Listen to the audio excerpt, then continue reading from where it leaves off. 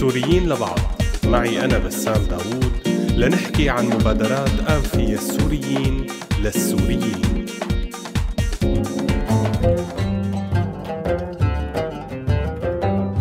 مرحبا. بزمن الحرب ومثل ما بنعرف طلعت كتير جمعيات ومؤسسات خيرية سورية هدفها إغاثة أهلنا السوريين بظل الظروف الصعبة اللي عم تعانيها معظم المدن السورية. وبعد ما دخلت مدينة حلب بدائرة المدن المحاصرة بلشت تشهد حملات عسكرية مكثفة بلشت تظهر الجمعيات الخيرية والمنظمات الإغاثية الفاعلة لإغاثة المدنيين. ومنها منظمة فسحة الأمل يلي تأسست سنة 2012 بلشت عمل الإغاثي بعدة مدن سورية مثل إدلب وحمص ودرعا وبعدين حلب.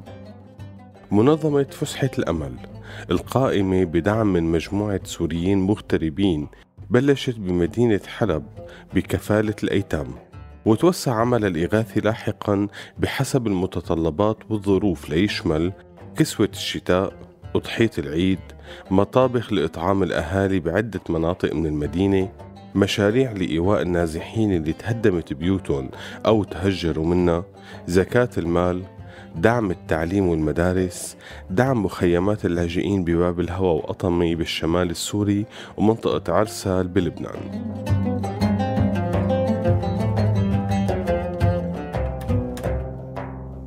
ومثل ما قلنا عمل المنظمة الأساسي هو كفالة اليتيم ويعتبر باكورة أعمال فسحة أمل يبدأ بالعمل من توثيق حالات الأيتام واستصدار ملف خاص بكل حالة بيحتوي على اسم اليتيم عمره صورته. بعدين بينصرف مبلغ شهري محدد لكل يتيم بناء على هي البطاقة. وقدرت الجمعية من بداية تأسيسها تكفل أكثر من 250 طفل يتيم من أبناء شهداء محافظة حلب بمبلغ شهري لكل يتيم يقدر ب 57 دولار. من أهم مشاريع فسحة أمل كمان المحاضرات والندوات التوعوية والدورات التدريبية يلي بتتعلق بمواضيع مختلفة. هي الندوات التوعوية بتتقدم للسوريين بعدة مناطق سورية وكمان بمدينة غازي عنتاب التركية لأنه الجمعية قدرت ترخص حالها بتركيا بسنة 2015 ومن هالندوات والدورات والحملات اللي عملت مؤخرا حملة التعلم عن طريق اللعب يلي بتهدف لزيادة الوعي عند الأهالي والمدرسين لأهمية التعليم عن طريق اللعب وفائدته اللي بترجع على الطفل وبتنمي مهاراته. هاي الحملة استهدفت عدة مناطق بريف حلب الغربي وكمان من الحملات كانت حملة أهمية الوقت مخاطر وسائل التواصل الاجتماعي بريف حلب الغربي يلي استهدفت عدد من طلاب الشهادات الثانوية وهدفت الحملة لتوجيه استخدام وسائل التواصل بالشكل المفيد وتوعية الطلاب لاستثمار الوقت.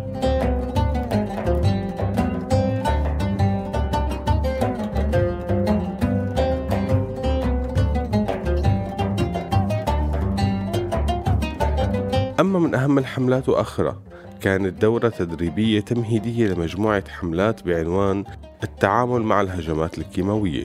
وهالحملة إجت نتيجة الاستهداف الأخير بالصواريخ الكيماوية لقرية خان شيخون بريف إدلب والدورة خاصة بالإسعافات الأولية اللازمة للوقاية من الهجمات الكيماوية. طبعا عمل المنظمة ما بيقتصر على هي الحملات. فيكن تتابعوا عملهم من خلال صفحتهم على الفيسبوك يلي بتلاقوا رابطها بوصف الحلقة. ولا بيقتصر بس على مدينة حلب.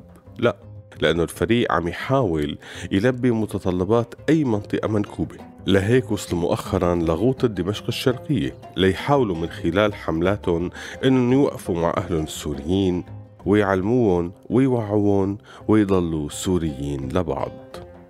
سلام. سوريين لبعض. معي أنا بسام داوود. لنحكي عن مبادرات آنفية السوريين للسوريين.